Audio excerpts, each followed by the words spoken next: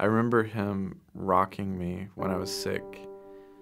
And I put that in the memoir actually. The way he recounts it is that he was the only one who could ever get me to stop crying. And so he would, you know, put me on his shoulder, sing to me, and we would rock in the rocking chair.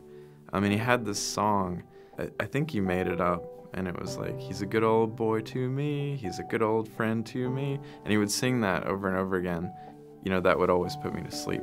And that was a real strong sense memory that I carried into writing the memoir because I remember thinking like there were times when dad and I were very close.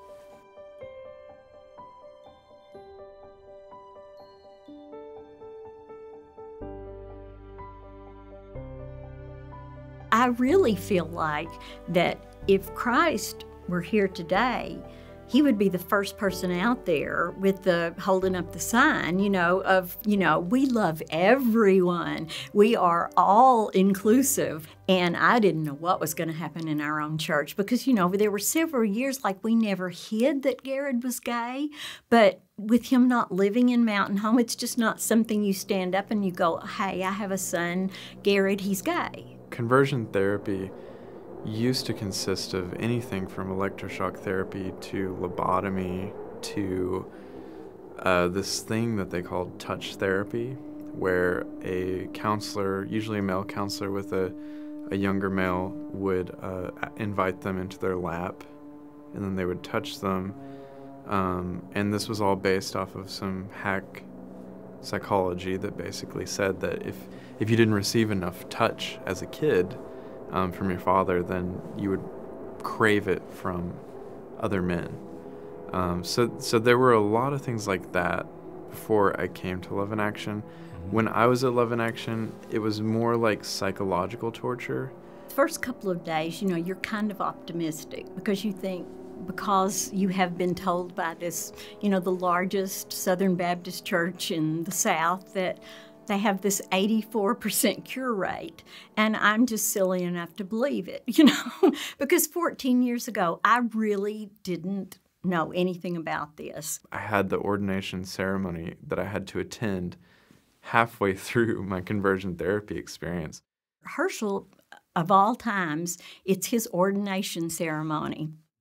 And so we have to drive on that Saturday back to the home church, and all of the people from all of the missionary Baptist churches, the pastors and loved ones, family, everybody's coming. There were over 200 people coming in. And, you know, had to stand up on a stage with my mom as the preacher who's ordaining my father says, Do you promise to do everything you can to fight the sin of homosexuality in the church? And my dad says, Yes. And my mom and I are standing there, you know, just on the stage while everyone's looking at us, thinking we're perfect. And I remember in that moment thinking, I'm going to break right now. And then, you know, he's asking me, you know, am I going to support Herschel and everything? And everything I was saying, I was, but I also just wasn't present. But there was this small part of me, I think, connected to that early childhood where I had love that said you can survive this. It's there. It is there. And that call it whatever you want, call it God's voice, call it some other voice, call it, you know, a artistic calling. We have different names for it. But I think that it first manifests itself in our lives through our early interactions. And when it's not there, it's tragedy. And then when we had to turn around and go back, all I wanted to do was just stay home and just hide Garrard away and not go back to that awful place. In the years after conversion therapy, on and off, there were some suicidal thoughts. They were never as bad as when I was involved in conversion therapy. Um, in the moment when I really was considering it, you know, I would run like the blade of a knife across my neck and like really sort of play with the idea and I really wanted to do it some nights. And and after that when you don't do it and when you decide like it's either me rebuilding myself or just going ahead and doing it because a middle ground to me living a life where I'd truly been erased and where I was an automaton that idea was so repellent to me that I would rather kill myself or live my best life. You know, right, right. it was like you've got to do one or the other, and the middle ground is going to kill you anyway. And I really did cry and cry. And I prayed the wrong prayer for two years. I prayed, you know, oh God, change him. And one day I thought to myself, you know, God answers no on a lot of our prayers. So I asked God, I said, you know, if Garrard is, is who you want him to be, and if he's where you want him to be, and possibly this is as much his calling right now as Herschel's calling, and I think I just happen to be the lucky person in the middle, you know, I thought, let me know that.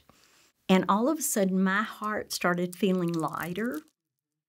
And I, I started noticing that, you know, I really didn't want to change Garrard. He was exactly who I wanted him to be.